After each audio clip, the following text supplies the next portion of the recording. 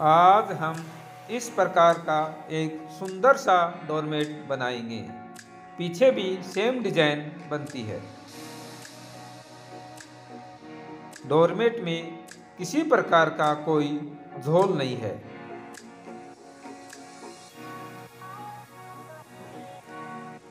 Yellow colour की पट्टी पर सिक्स नोट लगाकर एक रस्सी की गुथाई कर लेते हैं। रस्सी को गोलाई देते हैं। और फ़र्स्ट राउंड शुरू कर रहे हैं और फ़र्स्ट राउंड में एक फंदे में दो फंदे निकाल रहे हैं। ये फ़र्स्ट पहला फंदा निकाल चुके हैं।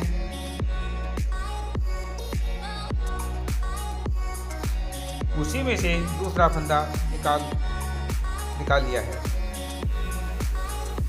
अब दूसरे फंदे में ये फ़र्स्ट फंदा निकाल चुके हैं। उसी में से दूसरा फंदा निकाल रही है।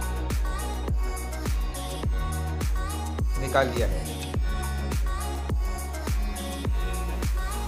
इस प्रकार, इस राउंड में एक फंदे में दो फंदे निकालेंगे।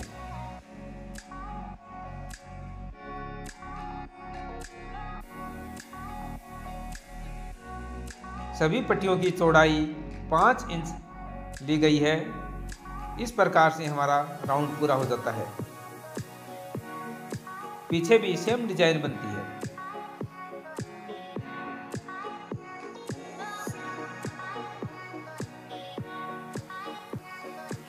अब इस राउंड में एक फंदे में एक ही फंदा निकालेंगे।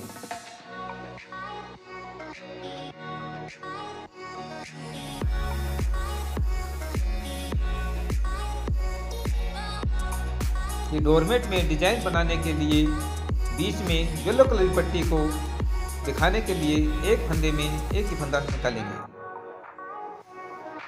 इस प्रकार से हमारा दो राउंड पूरा हो जाता है।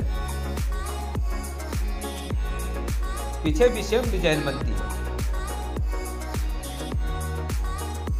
एक सेफ्टी पिन अटैच कर देते हैं, जिससे ये पता चल जाता है कि यहाँ से हमारा राउंड शुरू हो रहा है, नया राउंड। फंदों का आकार बढ़ रहा है इस राउंड में।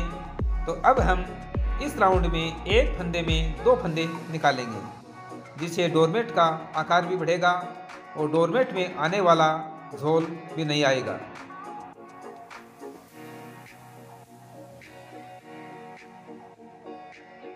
प्रत्येक फंदे में, एक फंदे में दो फंदे निकालेंगे।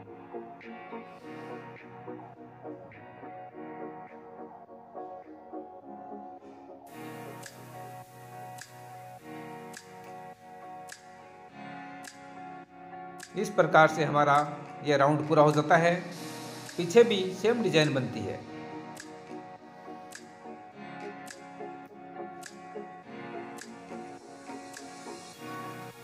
फंदों का आकार आधा हो चुका है। आधा, हाफ़। अब इस राउंड में एक फंदे में एक ही फंदा निकालेंगे।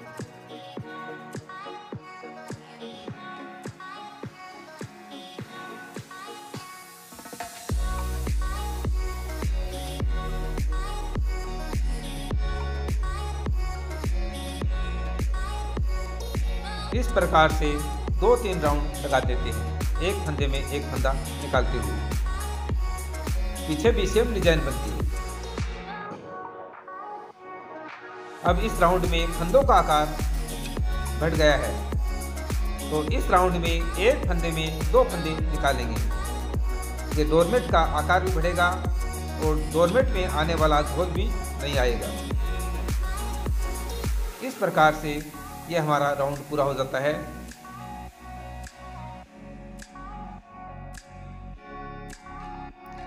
पीछे भी सेम डिज़ाइन बनती है।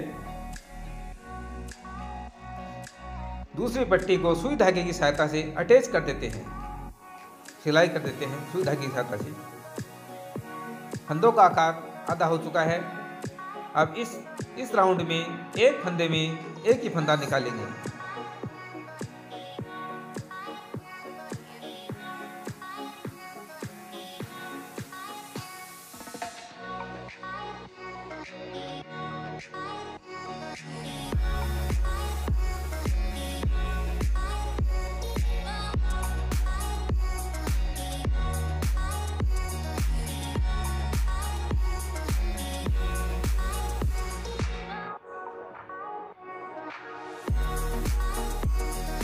इस प्रकार से दो तीन राउंड लगा देते हैं। एक फंदे में एक फंदा लेते हुए।